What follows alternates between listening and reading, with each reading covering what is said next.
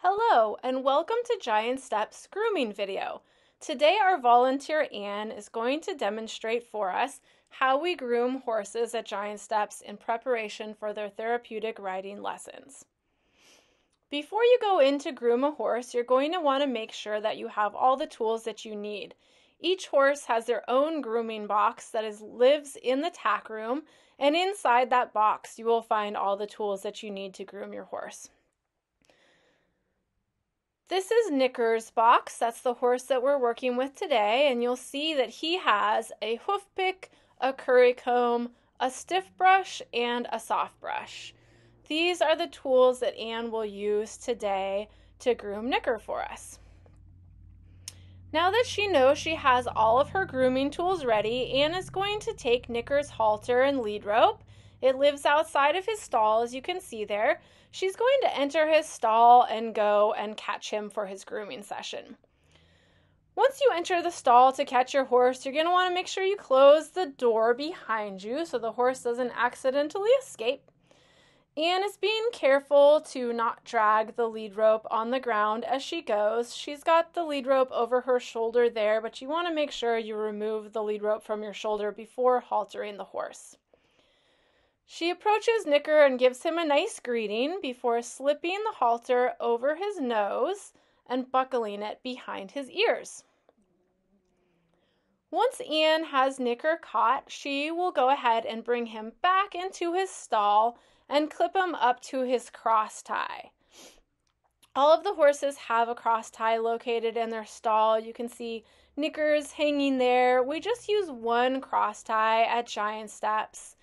So now that Anne has caught her horse, she's going to go ahead and bring him inside. She's going to gently place that lead rope over Knicker's neck there so it's out of the way, not dragging on the ground. And she's going to clip the cross tie up to the ring located at the base of his halter there. Once you have your horse clipped up and caught, you can go ahead and open the stall door for ease of access. We always um, leave the grooming boxes outside of the stalls and bring tools in one at a time. And at Giant Steps, we do like to begin by picking out our horse's hooves first. So you can see Anne is standing uh, facing her horse's tail. She ran her hand down his leg and gently asked him to pick up his hoof. And he's such a good boy, he did it right away. We do pick our horse's hooves out first, and that's because we want to make sure that there aren't any problems with the horse um, surrounding their legs or feet that would preclude them from class before we do an entire grooming session. So, if it's a shod horse, they've thrown or sprung a shoe, we're going to need to find a different horse to fill in for them that day. So, when we're picking out the horse's hooves, we do move around the horse, um, going from a front hoof to a hind hoof, then the other hind hoof, and then finally the the last front hoof on the other side of the horse. Now that Anne is moving around, I'm going to get in a little closer so you can see exactly what it is that she's doing. She's moving Knicker over there, you can see, to give herself a little bit more room between him and the stall wall. So Nick is barefoot in the back, and Anne is using the metal part of the hoof pick to dig manure, rocks, any sort of debris that could have gotten in between the sole of his hoof and his frog or around the perimeter of his hoof as well. So she's using a combination of the metal part of the hoof pick and the brush on the other side. When she's finished, she gently lets go of his hoof and he places it down on the ground himself. In the front there, you can see Knicker does have shoes. So it's a little bit deeper. There's a little bit more to dig out. And you want to make sure you do get all the way down to the horse's sole and that you can see the frog um, clearly.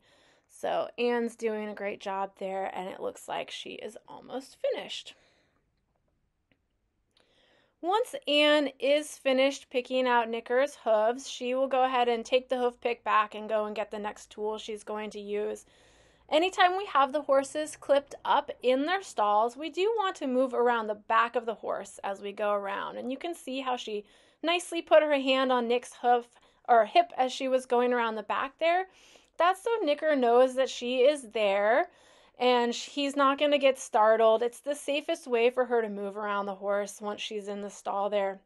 And the closer you are, the safer you'll be. Hi, Nick.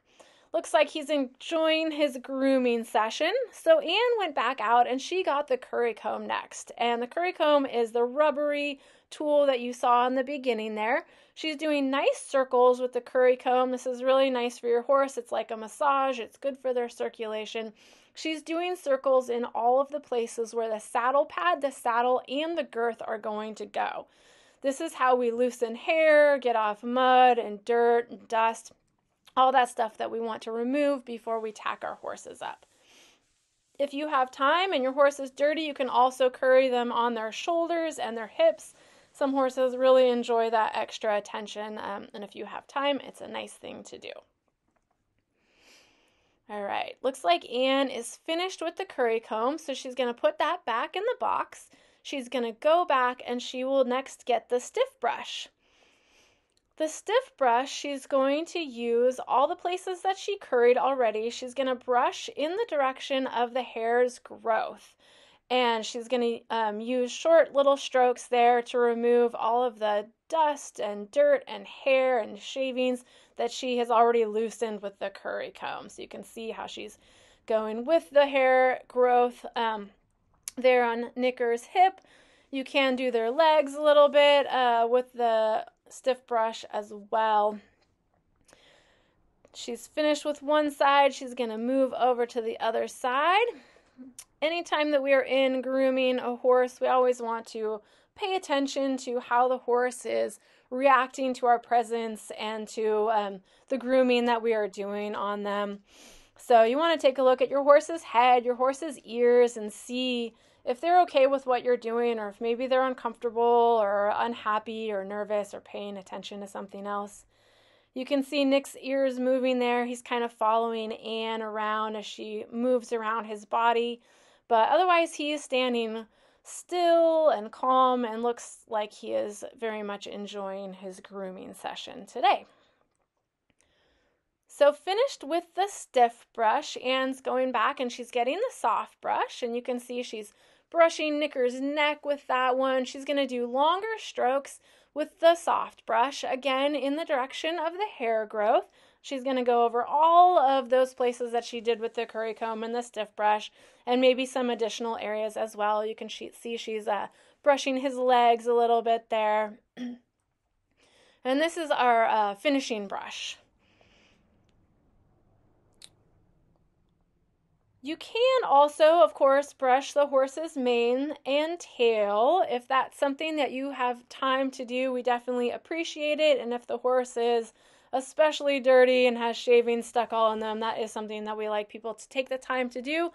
Nick's looks pretty clean today, so we are skipping mane and tail for today. All right, now Anne is finished with all the brushes, so she's going to put that final brush back. And uh, you'll see when she's done that she puts the lid on sideways. So that's a little cue that we use at Giant Steps just to indicate that, hey, this horse has been groomed already. So if it's a day when we have many horses that need grooming in a short period of time, you can easily walk through the barn and see Nick has been groomed. Thanks, Anne. You did a great job. I hope you all enjoyed the video.